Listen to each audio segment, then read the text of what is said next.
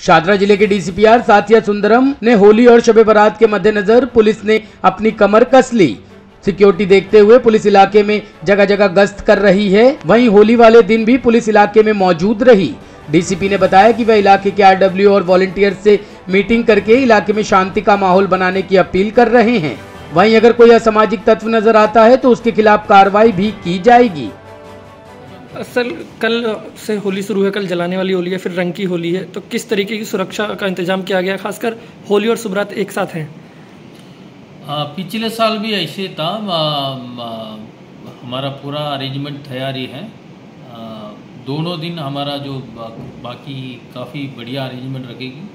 हमारा फोर्स ऑफिसरान सब हम फ़ील्ड में रहेंगे। पिकेट सिकिंग फुट पेट्रोलिंग सब कुछ होगा एरिया में। इसका तैयारी हम काफ़ी पहले से कर लिया है। कई सारे मीटिंग भी हमने कर चुके हैं।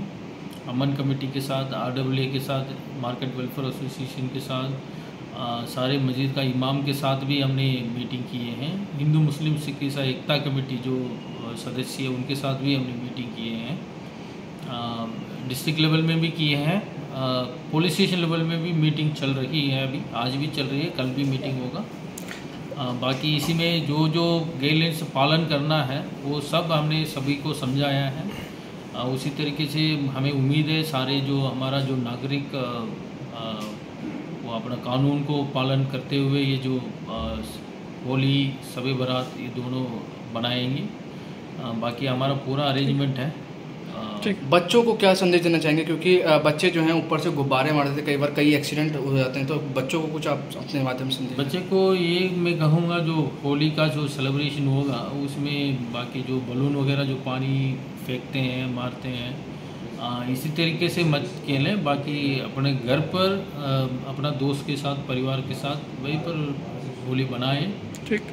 बाकी रोड पे बाग तोड़ ज़्यादा ना करें। अपने अपने इलाका में वही सेलिब्रेट करें। बाकी जो मोटरसाइकिल में जो माइनर ड्राइविंग ट्रिपल ड्राइविंग बिना हेलमेट तेज़ गाड़ी चलाना है दारू पीकर गाड़ी चलाना है, ये सब कुछ मना है। इसी के खिलाफ पुलिस सख्त से सख्त कार्रवाई करेगी। जो माइनर ड्राइविंग है, उसमें जो पेरेंट्स है, जो गाड़ी दिलाया, जो गाड़ी का मालिक है, उनके खिलाफ भी काफ़ी सख्त कार्रवाई होगा जो 199 ए जो मोटर व्हीकल एक्ट है उसमें पच्चीस हज़ार का पेनाल्टी का है प्रोविज़न उसी को भी हम लागू करेंगे। बाकी कार्रवाई तो काफ़ी स्ट्रिक्ट हम कार्रवाई करेंगे जो भी कानून को वायलेट करेंगे। ठीक है। टॉप स्टोरी ब्यूरो के लिए दिल्ली से रवि डालमिया की रिपोर्ट।